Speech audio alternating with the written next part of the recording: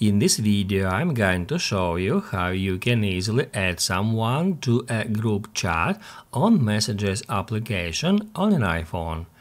Be sure to watch the video to the very end so you don't make any mistakes.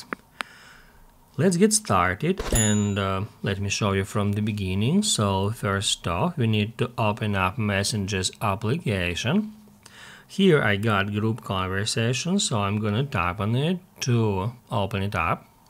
And then guys, all we have to do is just tap right here at the very top, add conversations name or add profile picture, just tap right over here to get to that conversation settings.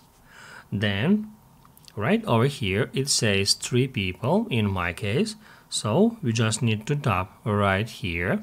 It will show us all the users that are currently participants of that conversation. And that's where we can easily find add contact. So if we tap on it, we'll be able to add another users to the conversation.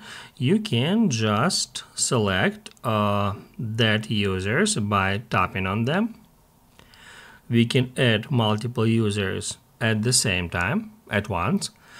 Uh, then once you are done with that all you have to do is just tap it done and now it says that we can only create a new group with the same members.